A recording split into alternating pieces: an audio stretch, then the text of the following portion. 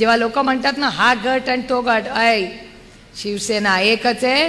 बाळासाहेब ठाकरेंच्या सगळ्या कष्टाने उभे केलेली एकच आहे आणि हयात असताना स्वतःच्या पोराला दिली आहे. करा ना सातबारा उतारा करा. तुमचे वडील माझ्या वडिलांसारखे देऊन टाका मला.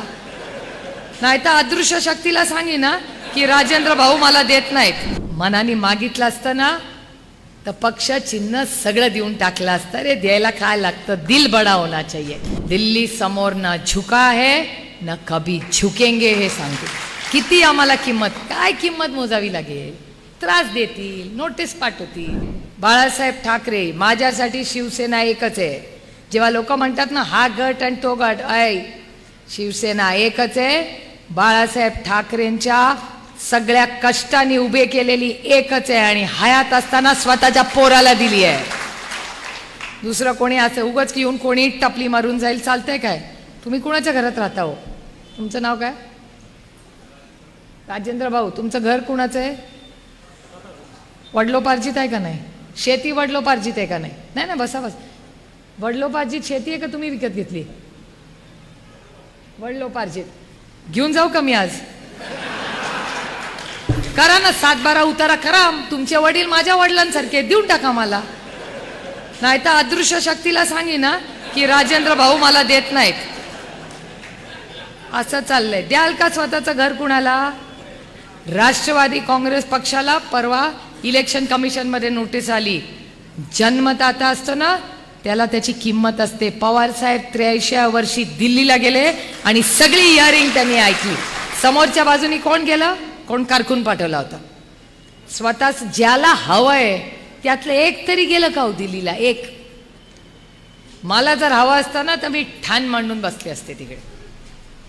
जे जो मेरा है वो मेरा ही है और मेरा ही रहेगा असं पवार साहेबांचा विचार आहे. माझा नाही.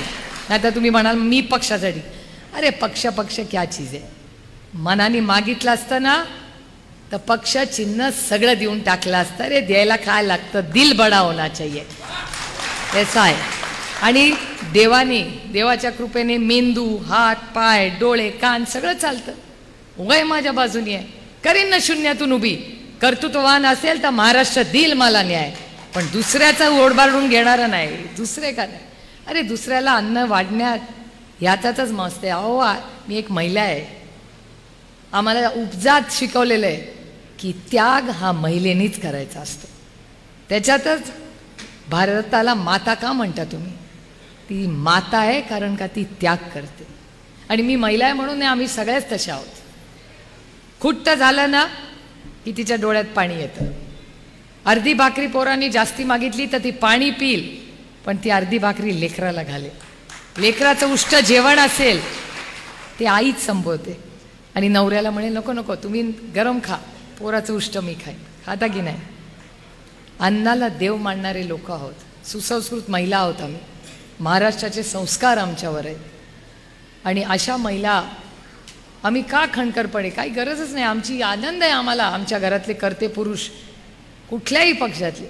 घेऊन जा. काही आमचं म्हणणं नाही. पण जर आणि पुरुष म्हणजे एक नाही सगळ्यांबद्दलच बोलते राष्ट्रवादी काँग्रेस पक्ष हा एक कुटुंब म्हणून पवार साहेबांनी केलेला आहे. त्याच्यात हा माझा आणि तो दोडका आणि हा लाडका असं कधीच नव्हतं. पवारसाहेबांना सगळे तेवढेच लाडके होते. आणि आज ज्या माणसाने हा पक्ष उभा केला त्या सगळ्यांच्या बरोबरीने केला. प्रत्येकाचे कष्ट आहेत नाही मी म्हणत नाही. प्रत्येकाने फुल ना फुलाची पाकळी त्याच्यात मेहनत केलेली आहे. पण चेहरा विश्वासार्थ चेहरा कोण होता? राष्ट्रवादीचा विश्वासार्थक चेहरा एकच आहे आणि त्या चेहऱ्याचं नाव शरद पवार आहे हे या देशाला माहिती आहे. परवा मला गंमत वाटली. नाशिकमध्ये सभा घेतली. नाशिकमध्ये उशिरा का होईना चव्हाण साहेबांची आठवण झाली. चव्हाण साहेबांचा फोटो टाकला. अरे चव्हाण साहेब फक्त माझे नाही आहेत या भारताचे आहेत. जेव्हा जेव्हा हिमालयाला गरज पडली तेव्हा या महाराष्ट्राचा सह्याद्री हा भारताच्या मदतीला गेलेला आहे. हे आमच्या चव्हाण साहेबांचे संस्कार आहेत. कधी चव्हाण साहेबांना वाचून बघा ना. तेव्हा त्या चव्हाण साहेबांच्या काळात भारतीय जनता पक्ष नव्हता पण आर एस एस पक्ष होता. माझी विनंती आहे ज्यांनी फोटो लावलाय त्यांना. ज्यांनी चव्हाण साहेबांचा फोटो लावलाय त्यांना माझी विनंती आहे की चव्हाण साहेबांचं पुस्तक वाचून बघा. चव्हाण साहेबांचं आर एस एसबद्दल काय मत होतं ते वाचून बघा. आणि मग मला सांगा की तुम्हाला तो चव्हाण साहेबांचा फोटो लावायचा अधिकार आहे का नाही आहे ज्या चव्हाण साहेबांनी उभं आयुष्य आर एस एसच्या विरोधात लढवण्यात घालं उभं आयुष्य. तुम्हाला वाचून पण दाखवू शकते माझ्या फोनमध्ये आहे.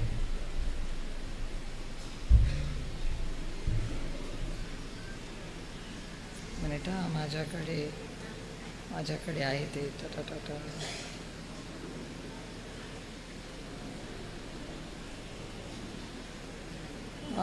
एकच मिनिट हा.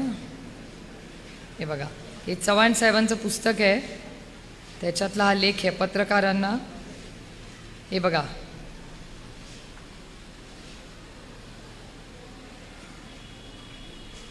ते चव्हाण साहेबांनी लिहिलेलं आहे. त्यांच्या पुस्तकातलं आहे. त्यांनी असं लिहिलं आहे हेगडेवारांनी सांगितलं की तो प्रश्न जेव्हा उभा राहील तेव्हा पाहता येईल. माझी खात्री झाली की ही चर्चा व्यर्थ आहे. मी समजलो की ह्यांना फक्त एका विशिष्ट वर्गाच्या लोकांसाठी फॉरेस्टिक संघटना बनवायची आहे. आपल्याला यात काही कर्तव्य नाही. तेव्हापासून आर एस एस म्हटलं की मी चार पावलं दूर राहिलो आहे. काय लिहिलेलं आहे? तेव्हापासून आर एस एस म्हटलं की मी चार पावलं दूर राहिलो आहे. माझ्या संपर्कात पुन्हा ऐका माझ्या संपर्कात येणाऱ्या कार्यकर्त्यांना आणि मित्रांना मी त्या विचारापासून बाजूला ठेवण्याचा नेहमीच प्रयत्न केला आहे. हे कैलासवासी यशवंतराव चव्हाणांनी लिहिलेलं वाक्य आहे. त्याच्यामुळे ज्यांनी नाशिकमध्ये आणि ज्यांनी फोटो लावला ना ते काँग चव्हाणसाहेब हयात होते तोपर्यंत काँग्रेसमध्ये नव्हते ज्यांनी बॅनर लावलाय. ते वेगळ्या विचाराच्या पक्षात काम करत होते. आणि इतके वर्ष त्यांनी चव्हाण साहेबांचा नाशिकमध्ये राहूनही कधी फोटो वापरला नाही.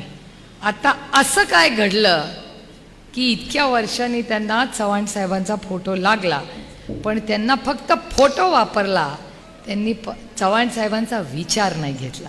फोटो लावून काही होत नाही हो कृतीमधून दाखवतं जनता बहुत हुशार आहे. त्यांना माहिती आहे की यांना आता गरज पडतीये. कारण का? पवार साहेब म्हणले माझा फोटो वापरायचा नाही. त्या दोघांचे फोटो लावले तर त्यांचा राष्ट्रवादीचा मतदार त्यांना मतदान करणार नाही. त्याच्यामुळे आता दुसरा मार्ग काय? प चव्हाण साहेब पवार साहेबांचा फोटो काढून टाकला. ठीक आहे. दुसऱ्या दोघांचा लावला तर मतदार मतं देणार नाही. मग आता काय करायचं?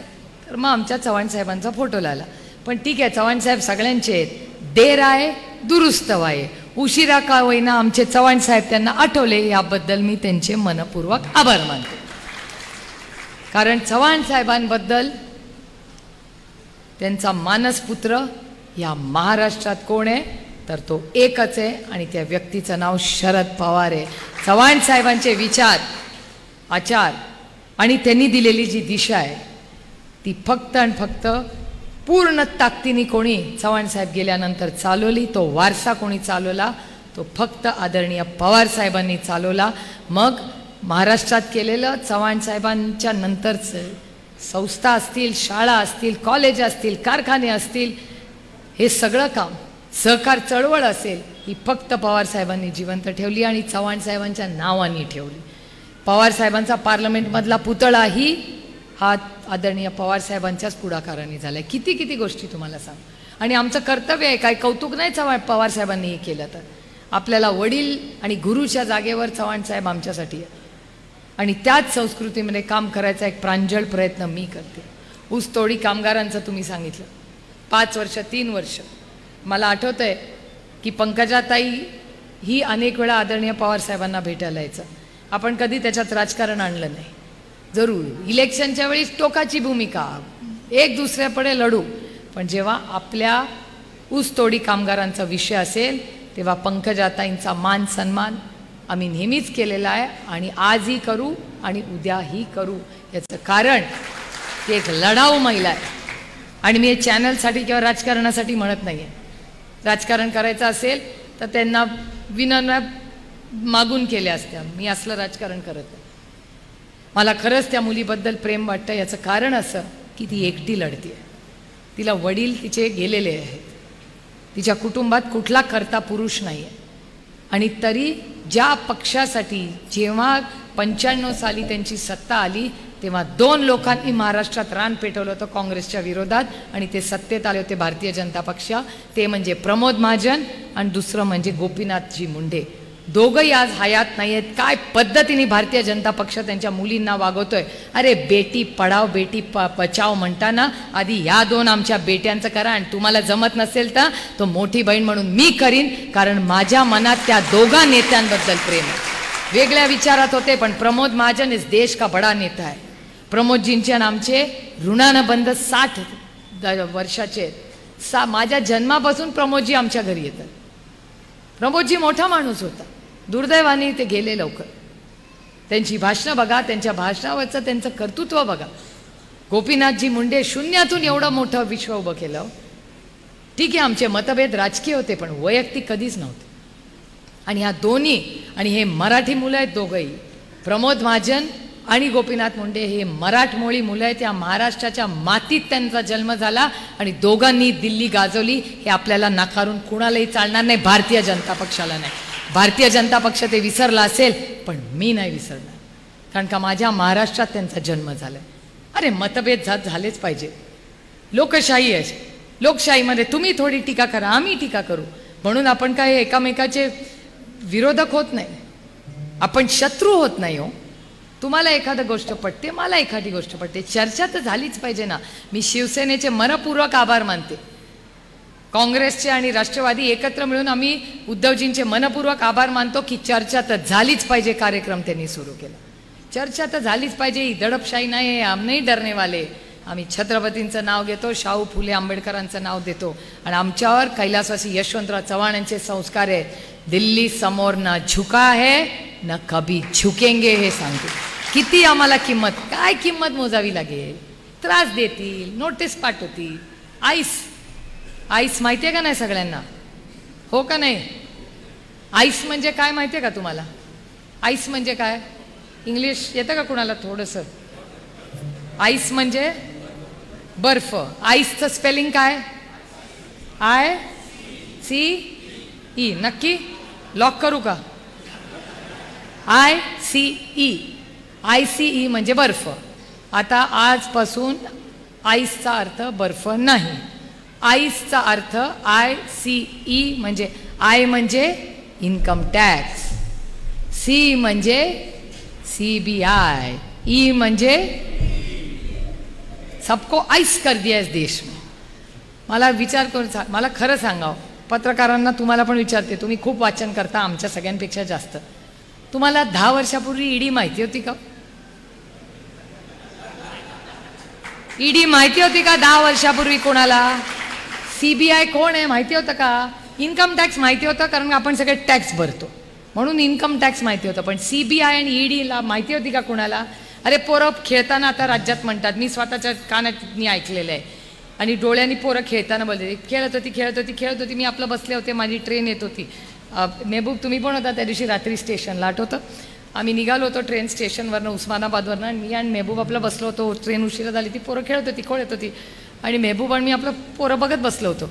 आणि ते एक पोर दुसऱ्याला म्हणते हे जास्त गडबड करू नको नाही तर ईडीच लावतो तुझ्या मी आणि मेहबूब चाटच पडलो. मेहबूब म्हटलं ऐकलं का ताई पोरांनी? म्हणलं मला चुकीचं म्हटलं म्हणलं इकडे रे. काय बोलला? तुला काय नाही काय नाही काय नाही. म्हणला नाही नाही काय बोलला तू?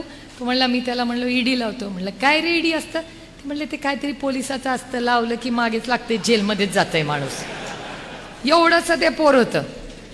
मेहबूब तिथे बसला होता त्याला विचार माझं खोटं वाटत. आम्ही दोघं चाटच पडलो.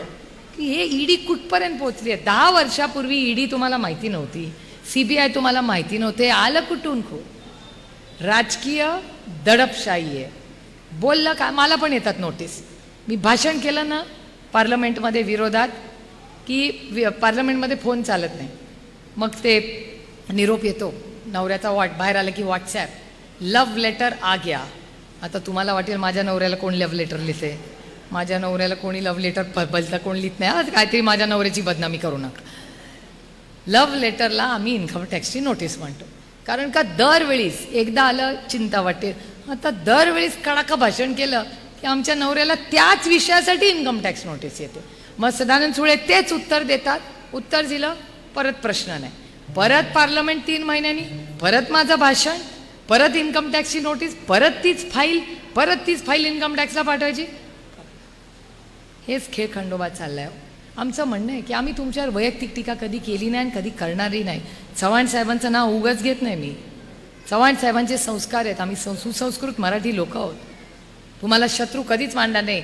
आणि ह्या सहा वर्षामध्ये तीस वर्ष आदरणीय पवारसाहेब विरोधात होते आणि तीस वर्ष पवारसाहेब सत्तेत होते.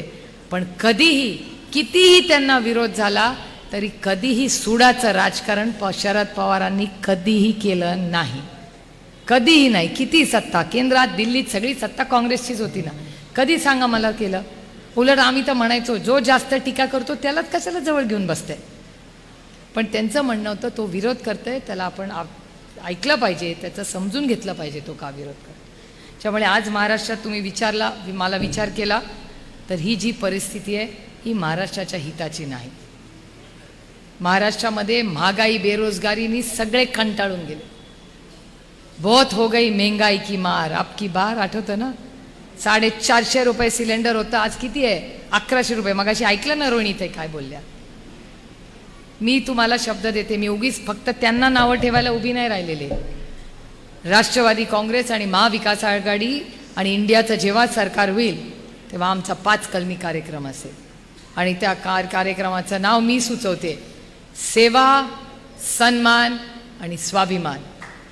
सेवा करणार मायबाप जनतेची. स्वाभिमान हा शेतकऱ्याचा आणि महिलेचा. आणि सन्मान आम्ही लक्षात आलं ना सेवा करणार मायबाप जनतेची सन्मान करणार महिलांचा आणि शेतकऱ्यांचा आणि स्वाभिमान राखणार तुमच्या आणि माझ्या महाराष्ट्राचा. सेवा सन्मान आणि स्वाभिमानच हे काम करेल. दिल्लीशी आमचं भांडण नाही. पण आम्हाला नडला तर या से करारा जवाब मिळेगा. आम्ही आपला मोठा भाऊ म्हणून दिल्लीला सगळा मान सन्मान देऊ. पण तुम्ही हिमालय असाल तर आम्ही पण सह्याद्री आहोत. हे दिल्लीने विसरता कामा नये. गुणा गोविंदा निरा पण आता काय कामी आहे? मग तुम्ही म्हणाल ठीक आहे आता त्यांनी वाईट केलं. तुम्ही आमच्यासाठी काय करणार? याचं उत्तर द्या. कारण का कसं आहे यायचं त्या त्याला नावं ठेवायची निघून जायचं. तुम्ही जेवायला बोलवायचं मला आज. आणि मी म्हणायचं कसं आहे ना भात तर कच्चाच होता. डाळी मीठच नव्हतं. ठेचातली मिरचीला काय दमच नव्हता. असं नाही. तुमच्या घरात येऊन तुमच्या सौ स्वयंपाकाला नावं ठेवणं माझ्यासाठी खूप सोपं आहे. असं राजकारण आम्ही करत नाही. आम्ही तुम्हाला जेवायला बसू पंक्तीला बसू ना तेव्हा काय देणार हा कार्यक्रम मी देत. पाच कलमी कार्यक्रम आपण करणार आहोत. त्या सव सेवा सन्मान स्वाभिमान तर करूच. आणि आधी करून दाखवलं आहे पवारसाहेबांचा ट्रॅक रेकॉर्ड काढा. सोयाबीनला होता की नाही भाव? कपासाला भाव होता की नाही? कांद्याला होता की नाही? टमाट्याला होता की नाही? साखरेला होता की नाही? दुधाला होता का नाही? मला सांग. दुधाला काय भाव आहे? किती? छत्तीस का अडतीस होता आधी आठवता? आता तीस कमी झालाय की नाही? कमी झालाय की नाही? कांद्याचा झालाय की नाही? टमाट्याचा झालाय की नाही? पहिला आपण कार्यक्रम घेणार आहोत आपली सत्ता आल्यावर की पहिला शेतकऱ्याला पवारसाहेब अस मंत्री असताना जो चांगला भाव होता तसाच भाव आता आपली सत्ता आल्यावर शेतकऱ्यांना आपल्याला द्यायचा आहे हा पहिला निर्णय आपला असणार आहे. आणि तो भाव तुम्ही ठरवा.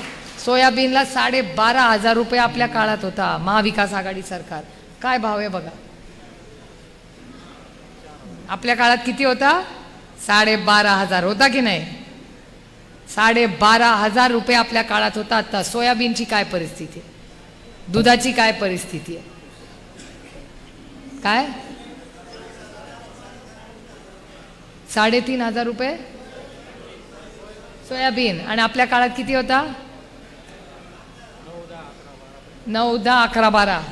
करेक्ट माझी तुम्हाला विनंती राहील सगळ्या संघटनेतल्या सहकाऱ्यांना जरा हिसाब किताब तो निकालो. कापूस करेक्ट बारापर्यंत बारा हजारापर्यंत आपल्यावर गेला होता. आत्ताच सहा आहे. म्हणजे महागाई दुप्पट आमचा हमी भाव. म्हणजे जे देवेंद्रजींचं केलं तेच आपलं करतं.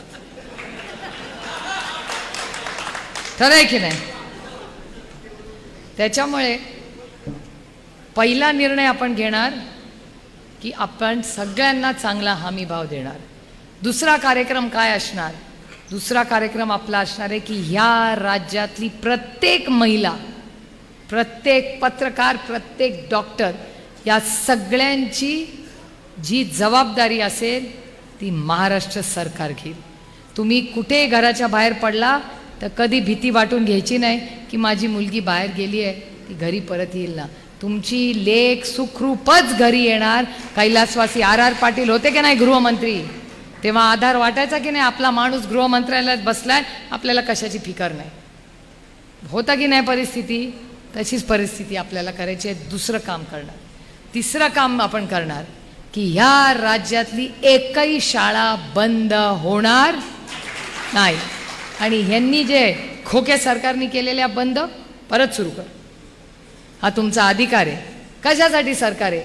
तर शिक्षण देणार नसेल तर काय करायचं आहे त्या सरकारचं? चौथा प्रत्येकाला चांगली आरोग्याची सेवा आणि औषधं ही प्रत्येक पी एस सीमध्ये असतील. प्रत्येक पी एस सीमध्ये ह्या राज्यामध्ये. मग शेतकरी महिला सुरक्षितता शिक्षण आणि आरोग्य. आणि पाचवा महत्त्वाचा विषय. पाचवा महत्त्वाचा विषय असा आहे की तुम्हाला यायला जायला रस्ते तर गडकरी साहेबांनी आणि महाराष्ट्र सरकारने केलेत अनेक वर्षामध्ये. पण एस टी मेट्रो बघितली आहे का कोणी कुठे? मेट्रोमध्ये नागपूरला मेट्रो केली. ती अशी बस असते आणि ती फिरत असते. बघितलं का कोणी टी व्हीवर तर त्या मा मेट्रोमध्ये जर तुम्ही काम बघितलं तर त्या मेट्रोमध्ये हजारो करोड रुपये लागतात. मेट्रोमध्ये काय असतं? छोटी ट्रेन असते. ती ती शहरात फिरत राहते. तुम्हाला माहिती आहे नागपूरला मेट्रो केली. त्या मेट्रोमध्ये लोक काय करतात? पत्ते खेळतात वाढदिवस करतात. हजारो कोटी रुपये करून मेट्रो काय पत्ते खेळायला आणि वाढदिवस साजरे करायला केली. मी मेट्रोच्या विरोधात नाही. मी कुठल्याही विकासाच्या विरोधात नाही. पण भाकरी भाजी पहिली का मोदक पहिला ह्याचा निर्णय आपल्याला घ्यायला पाहिजे. या देशात गरीब लोक आहेत ते नाही मेट्रोमध्ये त्या नागपूरच्या जाणार. पण कशात फिरतील या देशातले गरीब लोक? एस टीमध्ये. ज्या दिवशी महाविकास आघाडीचं महाराष्ट्र सरकार येईल तेव्हा पाचशे कोटी रुपये पहिला हप्ता हा एस टी महामंडळाला दिला जाईल आणि सगळ्या एस टी या राज्यातल्या सुधारल्या जातील. आठवतं ना दादानी विरोधी पक्ष नेता असताना ती एस टी दाखवली होती? डबडी आठवतं का? आणि महिलांनो ह्याच खोके सरकारनी ना तुम्हाला एक भेट दिली. पन्नास टक्के डिस्काउंट एस टीमध्ये मी माझ्या मतदारसंघात विचारलं काय महिला खुश का मग? ते म्हणले कसलं खुश? म्हणलं का काय झालं? ते म्हणले ताई एस टी आली तरच फिफ्टी पर्सेंट डिस्काउंट ते एस टीचाच आता पता नाही तर डिस्काउंटचं करू काय मी? लोणचं घालू? खरी गोष्ट आहे. त्याच्यामुळे ते कुणासाठी हे करतं? फक्त मीटिंग आणि तुमच्याकडे झाला का तो? कुठला कार्यक्रम या सरकारचा होता? शासन आपल्या दारी झाला का? कुठे गेला? शिर्डीला. तुमचं झालं असेल ना? सगळी कामं सुटली बाबा इथे. रामराज्य आलंय. शासन आपल्या दारी झालं ना? फुल बंद.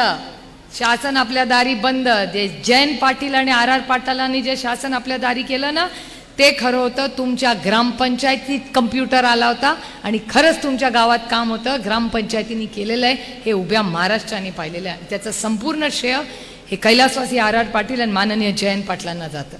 कसलं आहे शासन आपल्या दारी? शासन आपल्या दारीमध्ये तुम्हाला माहिती आहे का तो पॅन्डॉल किती कोटी रुपयाचा असतो? एक दिवसाचा एक कोटी रुपये एक. एक कोटी रुपयामध्ये शून्य किती असतात? होय मला पण नाही माहिती. एक कोटी रुपये एक कोटी रुपयामध्ये जर शासन आपल्या दारी एका दिवसात मग तो आधी लावायचा काढायचा असं म्हणून चार पाच दिवस होतात. चार पाच कोटी रुपये येतात. पकडून पकडून लोक कुठून आणतात? ज्याचे करोडो रुपयाच्या जाहिराती होतात चुराडा होतात आणि मग माननीय मुख्यमंत्री येतात आणि फक्त उद्धव ठाकरे कसे वाईट आहेत एवढंच सांगतात. माझं काय भाषण चुकत असेल तर मला सांगा. आम्ही सत्तेत आल्यावर शासन आपल्या दारी ह्यांचा बोगस प्रोग्रॅम कॅन्सल. आणि ते शासन खरंच तुमच्या दारात येईल. तुमचा ग्रामसेवक तो कसं काम करतो याचा आढावा आणि त्याचं एक ऑडिट खोलं जाईल. प्रत्येक ग्रामसेवक असेल तलाठी असेल प्रेमाने आदराने आम्ही करू. सगळं करू. पण ह्या सगळ्यासाठी आपण सगळ्यांनी आपली वज्रमूठ बांधली पाहिजे. आपल्याला दोन हजार चोवीस हे महत्त्वाचं वर्ष आहे. बहुत बडी लढाई आहे. त्यांच्याकडे पैसे आहेत. त्यांच्याकडे ताकद आहे. त्यांच्याकडे आईस आहे. आपल्याकडे एक सगळ्यात मोठी गोष्ट आहे. आणि मी नेहमी भारतीय जनता पक्षाला सांगते की सुप्रिया सुळे की सबसे बडी ताकद उसकी इमानदारी है। त्याच्यामुळे माझ्याकडे इमानदारी आहे त्यांच्याकडे पैसे आहेत। उसके पास गाड़ी है बंगला है फैक्ट्री है आइस है सब कुछ है। मेरे पास सिर्फ शरद पवार है। त्याच्यामुळे या सगळ्या गोष्टीचा तुम्ही विचार करा। तुम्ही प्रगल्भ आहात या देशातला मतदार अतिशय हुशार असतो। त्याला माहिती असतं तर लांबून सगळं बघत असतो. आणि सगळ्यांना वाटत असतं की अरे याला तो व्यवस्थित बटन मगाशी रोहिणीताई म्हणल्या की आत्ता दोनशे रुपये कमी केलेत. अजून जुमलेबाजी खूप होईल. जुमले पे जुमला इलेक्शनपर्यंत बटन दाबलं की सगळ्याचे भाव वाढतील. पण आता त्या सगळ्यावर आपल्याला काम करायचं आहे आणि सेवा सन्मान आणि स्वाभिमान ह्या तीनच गोष्टी लक्षात ठेवा. आणि माझी राष्ट्रवादी काँग्रेस पक्षाचे जे जे इथे पदाधिकारी उपस्थित आहेत त्यांना विनंती करायची आहे की आजपासून पूर्णपणे काँग्रेस राष्ट्रवादी काँग्रेस आणि शिवसेना या सगळ्या कार्यकर्त्यांनी एकत्र मिळून पूर्ण ताकदीने प्रचाराला लागा. पहिली एप्रिलमध्ये लोकसभा होईल त्याच्यानंतर आपल्या राज्याचं इलेक्शन पण फार काही लांब नाही आहे पूर्ण ताकदीने कामाला लागा. आणि एक शेवटची घटनेबद्दल मी सांगून माझं भाषण संपवणार आहे. आज नगरमध्ये आम्ही इथे योगायोगाने आहोत. तिथे हेरम कुलकर्णी नावाचे माझे सहकारी आहेत.